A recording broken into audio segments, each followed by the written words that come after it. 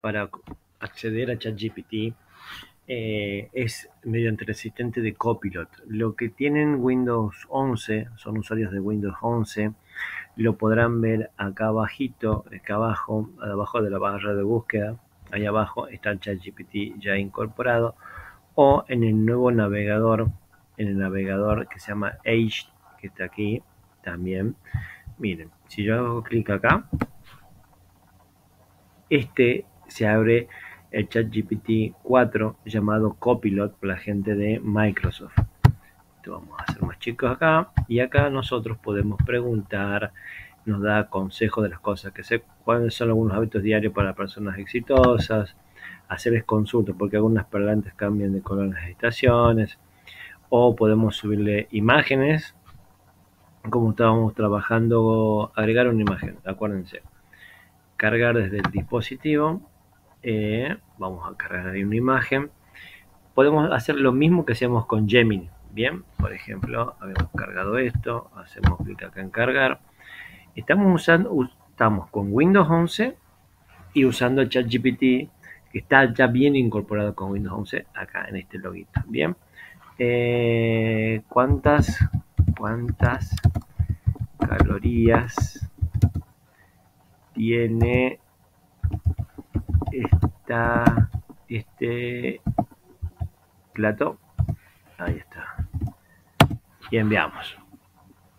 Bien. Entonces ahora veamos si me puede calcular las calorías que tiene este plato. Ahí está pensando.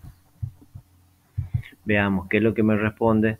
También puedo subir un archivo.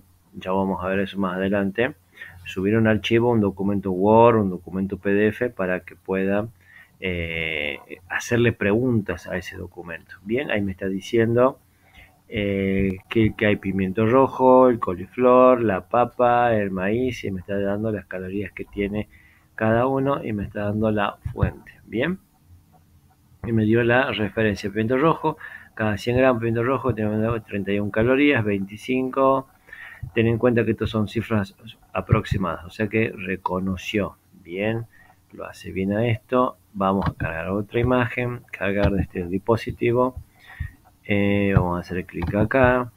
Vamos a preguntarle de qué se trata, de qué se trata esta imagen.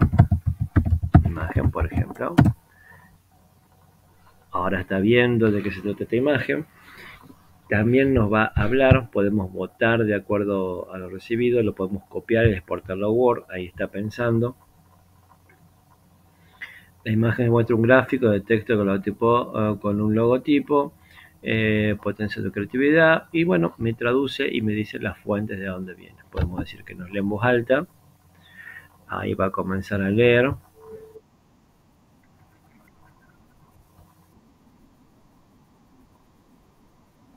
Ahí está. Bien, entonces este que ya me viene incluido a mi pantalla. Bien. O podemos hacer clic en Microsoft Edge, que es el que está acá abierto. Yo ya lo tenía abierto. Eh, lo voy a poner acá abajito. A ver, yo ya lo tenía acá abierto para ir más rápido. Y también trae incorporado, ¿ven? Acá. Este, si hago clic acá, acá me aparece ya viene incorporado el navegador. Es en el, navegador. Es lo mismo que teníamos, que tenemos el acceso acá. Y también lo trae acá el navegador. Pero ¿para qué sirve? ¿Cuál es una de las utilidades? Por ejemplo, acá estoy dentro de una aula virtual. Eh, por ejemplo, vamos a poner recordatorio. Recordatorio. recordatorio Saludos, saludos y a palabras. Palabras. Vamos a ponerla. Eh, ahora entonces acá le vamos a decir que vamos a ir a eh, redactar. No vamos a chatear, vamos a, decir, no, pedir que nos ayude a redactar. Hacemos clic acá en redactar. Eh, informativo eh, un correo electrónico y escribe sobre recordatorio, recordatorio, recordatorio sobre la reunión del día 29, 29 del 5, del 5 a las 20, 30 horas. Primer encuentro, primer encuentro eh, del curso, del curso Inteligencia Artificial, inteligencia artificial en la educación media y superior. Bien, ahí está, le doy enter. Bajo, le digo que me haga como un correo informativo. Ah, link en el campus, en el aula virtual. Link en el aula virtual. Bajamos, bajamos. Medio, la longitud media, generar. Acá me genera un borrador, pero ustedes eh, dirán, sí, pero ¿para qué me sirve? Ya vamos a ver. Y acá tengo abierta el aula virtual, un lugar donde puedo escribir. Bien. Entonces, voy a hacer clic acá. Ve, me puse equipo coordinador. Vengo, lo leo. Tuki, tuki, tuki. Está bien, hacerlo Agregar al sitio. Y me lo pegó. Me lo pegó. Entonces, de esta manera puedo generar contenido de una manera muy rápidamente.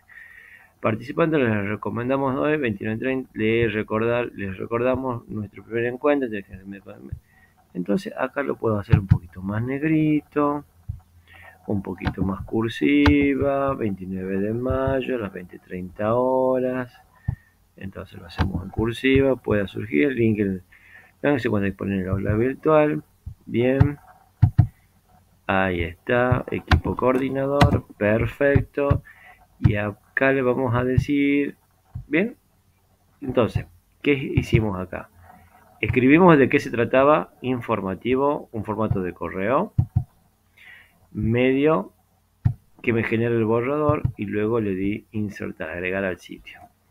Ahora, quiero una imagen. ¿Podrías generar una imagen sobre el tema a ver.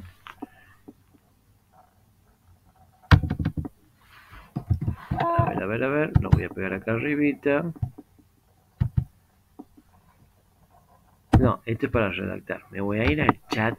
Estamos haciendo un adelanto, ¿no? De la generación de imagen. Lo voy a poner acá. Miren, lo voy a poner acá. Usando la web. Claro, voy a crear una imagen relacionada con el tema voy a, entonces ahora me va a generar una imagen. Eh, veamos cuál es la interpretación sobre esto que tiene la IA. Ahí está cargando, me está generando la imagen. Vamos a ver, vamos a ver qué es lo que me genera. Bien, me genera la imagen. Mm, em, podría ir o no. Podría ir o no. Bien. ¿Qué es lo que tendría que hacer clic? Acá. Y me la va a guardar. O podría generar una imagen, la vamos a modificar. Podría generar una imagen sobre reunión virtual con alumnos, supongamos. Entonces, ahora va a comenzar a generar. Esta imagen me la hizo la sala. Ya vamos a ver cómo modificarla, ¿no? Cómo editar. En, el en, la próxima, en, la, próxima reunión vamos a ver cómo modificar y editar y hacerlas más, más reales a estas imágenes. Ahí está pensando. Ahí está pensando. Ahí está pensando. Listo. Ahí está. Bien, y ahora la podemos agregar. Esto es a modo de ejemplo. Entonces, a esta imagen la arrastro acá. Y ahí está. Enviar al foro. Entonces, de esta manera yo puedo generar contenido automáticamente dentro de, de Moodle o dentro, ya vamos a ver las otras plataformas eh, donde más nos permite generar eh, contenido. Bien, palabras recordatorias. Bien, entonces ChatGPT para los que tenemos Windows 11 lo tenemos incluido acá abajo o lo tenemos incluido en el navegador Edge que funciona tanto para Windows 10 como para Windows 11 y nos permite generar contenido dentro de lugares o, y trabajar dentro de, eh, dentro de lugares que yo puedo escribir por ejemplo un aula virtual. Bueno nos vemos en el próximo video tutorial